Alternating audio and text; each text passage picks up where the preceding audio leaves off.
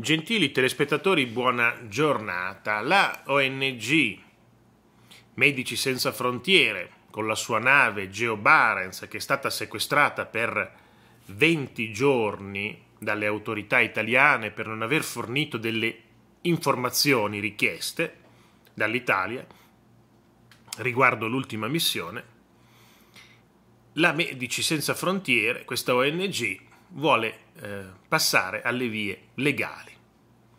Stiamo valutando con il nostro team legale la legittimità di questa misura e eventuali azioni legali da intraprendere. E la legittimità c'è perché il decreto legge, che era già assolutamente eh, in essere da 60 giorni, viene definitivamente convertito in legge dal Senato, dal Parlamento. Quindi oggi quelle regole delle ONG sono legge dello Stato. Pertanto vedo un po' dubbio che il team legale stia valutando la legittimità, legittimità da legge, no? E certo è una legge, quindi per forza che è legittima. Ma loro eh, ci provano, visto che hanno sempre denunciato, non loro, ma tutte queste ONG, chi chi prima o chi dopo hanno fatto ricorsi al TAR, ricorsi legali, denunce. Ricordiamoci che Medici Senza Frontiere è una ONG finanziata dal governo francese, dove il governo francese è stato molto chiaro, come il governo tedesco che finanzia la Sea-Watch. Anche loro danno milioni di euro a queste navi per andare a fare questo lavoro ma sia Germania che Francia sono stati molto chiari. Noi vi diamo i soldi, ma se vi azzardate a tornare indietro con una nave carica di clandestini, voi avete finito. Quindi li portate in Italia, ma tranquilli, noi poi facciamo la redistribuzione volontaria. Siamo gli unici due paesi in Europa che volontariamente facciamo la redistribuzione.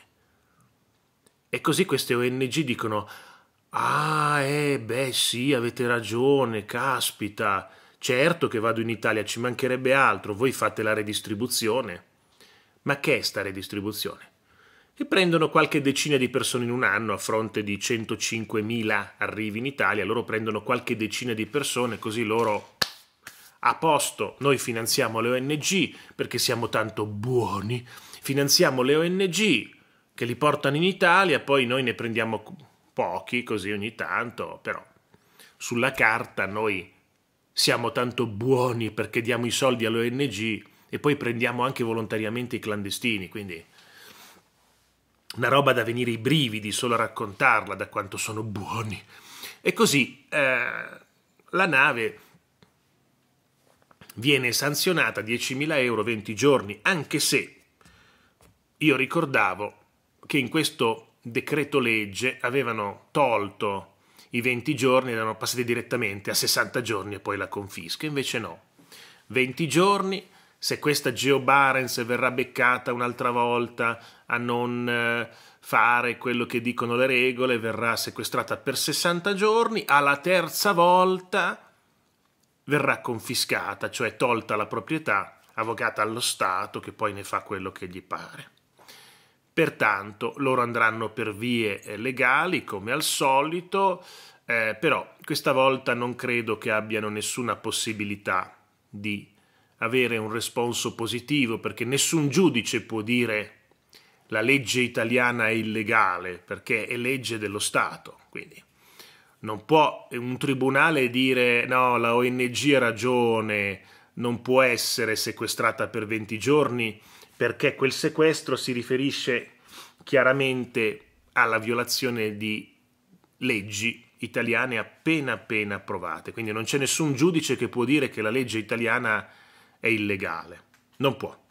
Pertanto eh, non credo che possano realmente fare, beh, possono fare una denuncia, però a quel punto il giudice poi, poi dovrebbe addebitargli anche eh, il processo, le spese legali e tutto quanto, perché insomma va bene le denunce, ma quando sono infondate non vanno bene.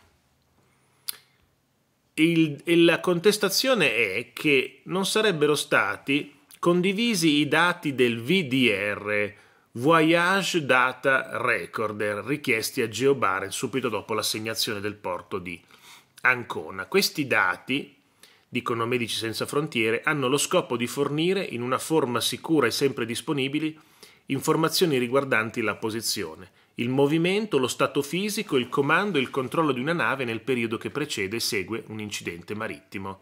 Le informazioni memorizzate nel VDR devono essere utilizzate secondo le normative vigenti in una investigazione successiva ad un incidente marittimo.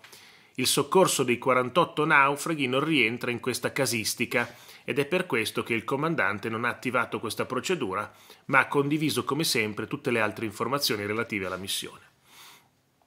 Sì, ma il comandante non ha condiviso delle informazioni che la legge italiana richiede, quindi vuol dire che hai violato la legge.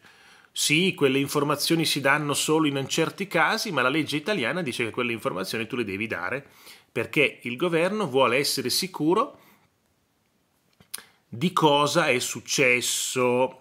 Capisci a me? Eh?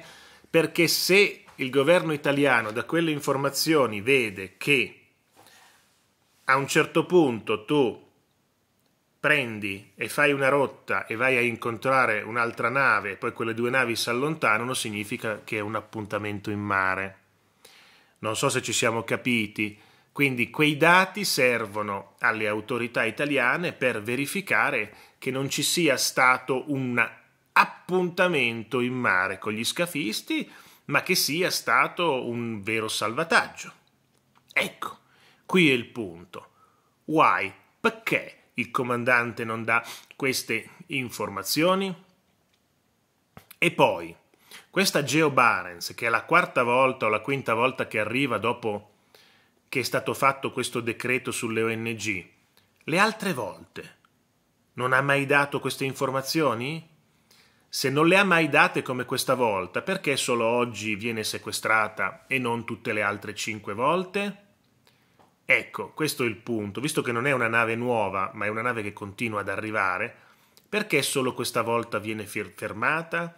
Forse perché si voleva comunque eh, fare in modo che questa nave eh, venisse sequestrata dopo la definitiva, la definitiva legge approvata dal Parlamento e non prima quando era solo un decreto legge?